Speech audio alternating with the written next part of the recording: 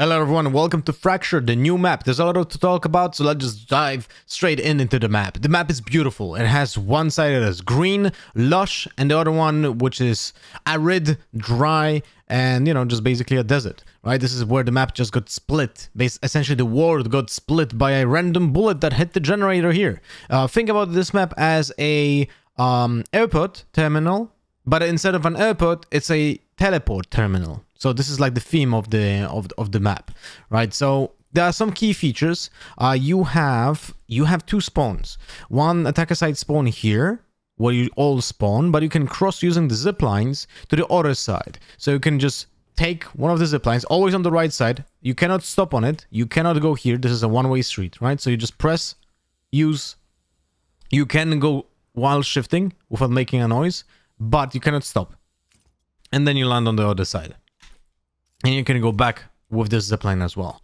So this is the other side of the spawn, where the barriers are also very close. Let's do a quick rundown of the map because the map is very complicated. I love it. Uh, it's actually very fun to play, something completely different to what I've seen in the past, and it's very quick. Very quick. The engagements are insanely fast. So let's drop the barrier. And when we're dropping the barrier and a wide swing here, there can be already a player here. Like in this spot, there can be already a player. If he wide swings as well, we have contact in the first second. It's literally nuts, you know? And the map is, because of the way that it works, because of the, the way it's being built, uh, you have a lot of pressure made on the defenders just from the beginning because you pincer you make like a pincer movement right you go from this side you go from this side and you try to attack one of the sides from both sides actually, right? Remember the defender side spawn is in the middle of the map. This is where they start, which is bonkers. Now, also, a very important thing about orbs. This is the first map in Valorant that has more than two orbs. There are actually four. Let me draw it on the map. Here we go, the mini-map, right? And there are four orbs. One is here. That's one orb where I'm currently standing. Second orb is here. Third orb is here and fourth orb is here. So as you can see, this changes the dynamic of the of the game like completely. Agents like Skye, absolutely insane on the map, have also a big buff when it comes to the potential ult orbs that I can just get every single round. So you can ult even more times than on Ascent or on Breeze, which makes the character almost broken in my eyes. Uh, the same applies to Phoenix and Yoru might be actually very playable on this map because his kit is actually useful. Fake steps, the teleport, uh, and and uh, the ult orbs essentially make him very efficient at what he can do, which is confuse the opponents because the map is essentially just like a big big confusion. Um, so remember, he can be on the on on one of the sides of the map, right? He can put a teleport here, an example, right? Then take a zip line to the other side, attack from here, flash, do fake footsteps like a two pair right so there's like a massive push from this from this side then you teleport back to uh back to the other side right and then after that after that, you can essentially just do whatever you want. You can be a lurker or you can join your teammates that went to A because that was a, like a big, big, fat uh, fake. It's phenomenal. Like there's many options. It's going to be a nightmare to play ranked in because people will have no clue what is going on. So yeah, yeah, that's going to be nuts. Anyway, so four orbs right let's take a let's take a look at the map so here we go there's the b side it's very open there's uh a safe spot to plant in here, right? But of course, there can be defenders here. So remember, all of those can be shot through. Uh, those are penetrable. When it comes to Radianite boxes, this is penetrable as well. Uh, here, uh, this is not. Oh, actually, never mind. You can shoot through to here. That's interesting. Didn't know about that. Uh, might not be the case. Yeah, I think it just hits the wall. Anyway, so this is the B side. It has the small cubby area. It has a tunnel up top, which essentially connects to the other side of the spawn. And this is where the second orb is, right? So uh, this is like the second way the attackers can go can go through for the other side of the map from here. If they cross from spawn on the zip line, they can go through here and basically pinch your opponents. And then this, there's the connector between both uh, both angles, right?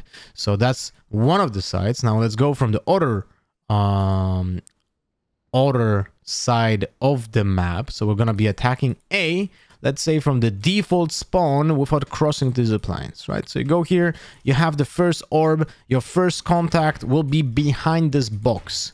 Once you reach here, your opponent can be already standing here, right? So this is very important. Skyes can like flash around this corner and try to attack you. Now there's another gimmick.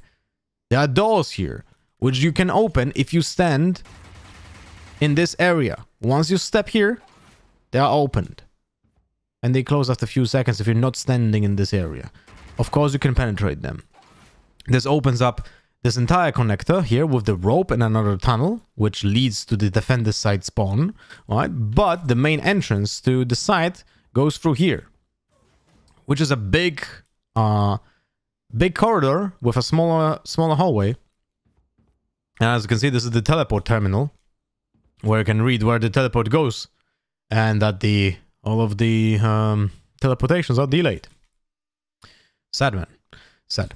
Anyway, this is the A side. It's completely different from the B side because it has first and foremost a lot of safe locations to plant. You can plant in this spot, and this is not penetrable. This is, of course.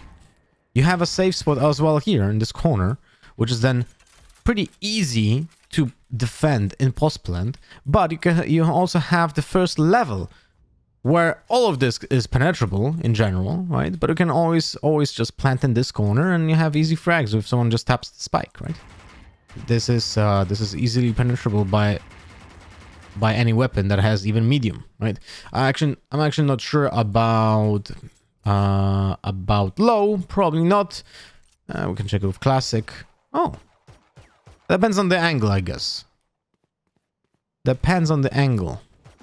They can go through or not. So you can always deal like some minimal, minimal damage. Now, um, the other side that you can attack through is through the dish, right? So if we if we if we take the zip line to the other side of the attacker spawn and we go left, we go to the desert area, where's the satellite dish here, and there's the fourth orb, right? Your opponents, the defenders, when you cross from here, can be already close behind this rock or behind the dish. So there's already a very intense action here because the barrier is here. This is where the barrier is. And the, the, defenders can be standing on this spot or just waiting for you here behind the dish. Now, this is the drop to A side, which is a place where you cannot drop without making noise. At least I think so. Yeah, I don't think you can just go here. Yeah, you're gonna make noise. So essentially, this is this is like an explosive entrance, right? If you want to to go um, with with huge force without lurking, this is this is the way, right? Because um, you can essentially like try to well, it's pretty open actually. You're, you're gonna need massive like amount of utility to cut off all the corners here. Uh, but yeah, this is the the corridor with the rope with the with the opening doors, right? And now when it comes to the defender spawn, well, as you can see, it's in the middle of the entire map. Here I'm standing, right? And now you have to decide: do I go B? Do I go A? And if I go if I go A, then you have to decide another way, uh, another two decisions you have to make. Do I go take control of dish, or do I just play on side and wait for people to drop from uh, from the drop, right? Which is very similar to bind hookah. This is essentially the hookah area. You wait for people to drop out of it, right? And then you have the open um, open corridor with that orb. And as I said, this is like a good moment for Skye to just, you know, flash and peek when someone is taking the orb. And then when it comes to defending A, sorry, B, when you go and defend B, there's uh, I feel like B is actually harder to defend. This is probably the side where you have you're gonna default by having three defenders. Right, this is the big corridor with the orb when the attackers come through. Right, this is the spawn here. Uh, and it's the more open side which can be attacked from those two angles, right? So this this I feel like this side is actually pretty rough to hold. Because even if someone is standing here, right, he can be easily tapped by a good crosshair placement. And if you kill one, like, yeah, you can hide because this is not penetrable unless it's, you know, the corner. but then you go out and you're out in the open from those people here attacking the site, right? So um, it's it's gonna require a lot of uh, a lot of utility, a lot of uh, teamwork to actually play well. Um, there's there's gonna be a lot of uh, situations where you're gonna be relying on a Cypher, Killjoy, Sova, Skye utility to just get info. This is why I think on this map, Skye is basically a must take. Uh, so is probably Sova.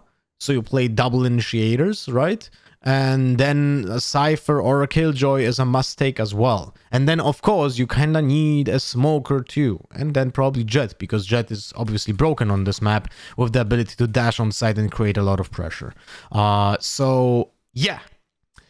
But every agent, I feel like it's actually playable. Phoenix and Yoru might be good choices as well.